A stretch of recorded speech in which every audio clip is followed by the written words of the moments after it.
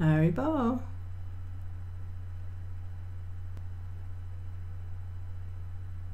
I don't know about you, but sometimes when I wake up first thing in the morning, I'll have a, some really wonderful realizations.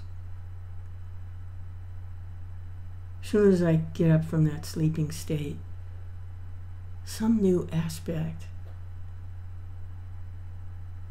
of joyfulness, of freedom,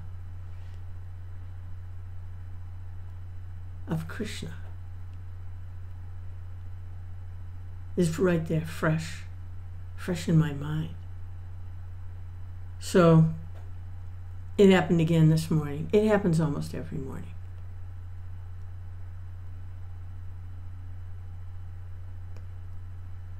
I hate to go to sleep at night. Such a waste of time. But now that I'm thinking about it, maybe I should relish going to sleep, knowing that when I wake up in the morning, there's going to be something really fresh and new waiting, some new surprise.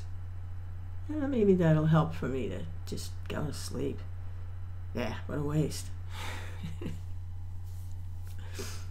okay, so this is what happened this morning. I woke up and the verse from Ishopanishad, the invocation, was floating around. I, I was actually absorbed in the verse.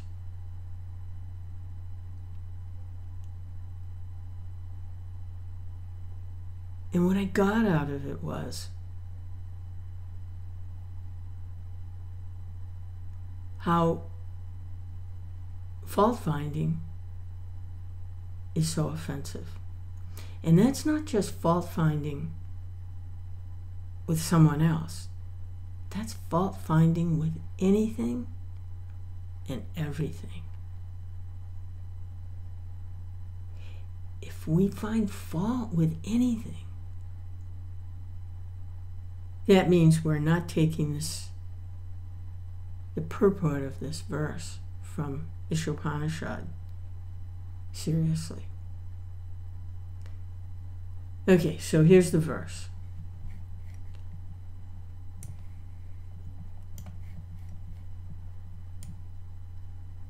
It isn't kindergarten stuff. It's just, it's a building block of devotional life. All right live with my Sanskrit. Om Purnam Adahat Purnamidam Purnat Purnam Udachite Purnasya Purnamadaya Purnameva Vasishite.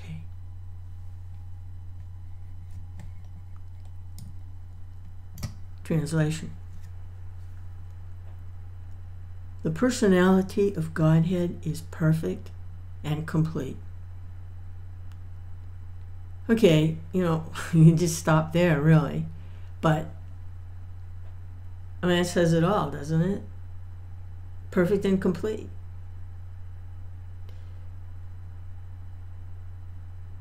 How are you going to find faults, right? Personality of God is perfect and complete. All right, just, just don't interrupt. Do the verse. Yeah, start again. Translation. The personality of Godhead is perfect and complete. And because he is completely perfect, all emanations from him, such as this phenomenal world, are perfectly equipped as complete wholes. just get absorbed in that. This material world is perfect and complete because it's an emanation from the complete perfect. Whatever is produced of the complete whole is also complete in itself.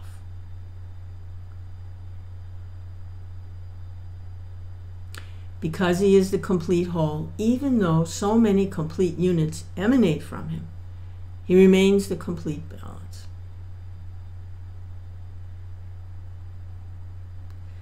Okay.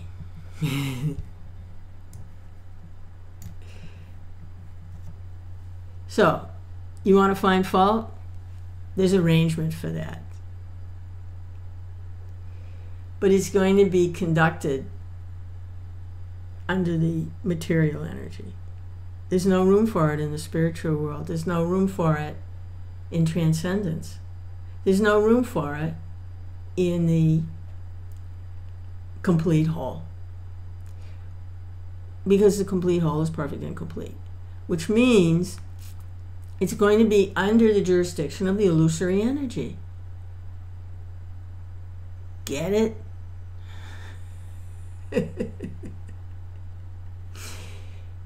it's a huge stumbling block.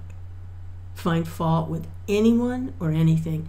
And that doesn't mean that we take this verse seriously. Somehow it's an impersonal view. Oh no, it's not an impersonal view. Oh no.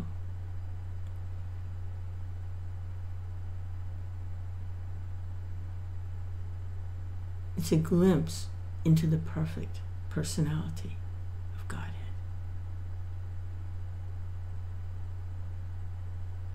So, the next time we catch ourselves finding fault with this or finding fault with that, we should know coming under the supervision of the illusory energy.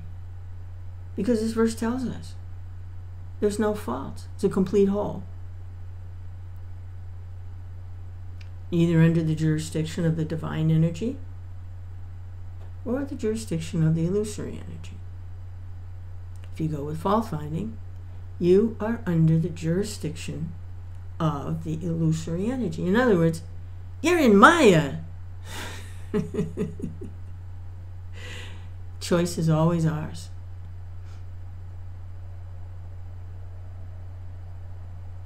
I choose no fault finding. And I'm working at it because it's a really bad habit, and I've indulged in it for quite a while. That means no fault finding with others, no fault finding with the world in general, no fault finding with the president, no fault finding with other people, whatever they may be doing. It doesn't mean, you know, I particularly like what they're doing. That's another thing. But that's what they're doing. I may see a better way, more blissful way, as this verse describes here. In other words, I may see people fault finding.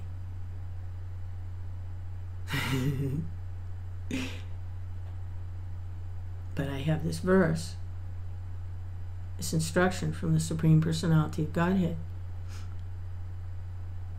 And I know that their burdens and their unhappiness can be lifted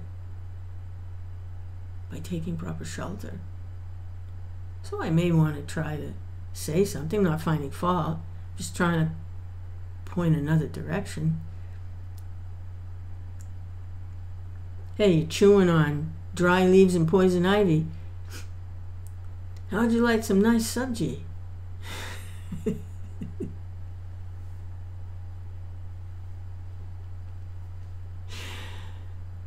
Hare Krishna.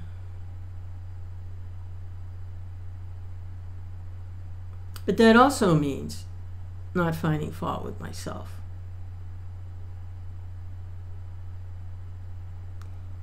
I can use that same line of preaching with myself. Hey, you're chewing on dry leaves and poison ivy. How would you like some?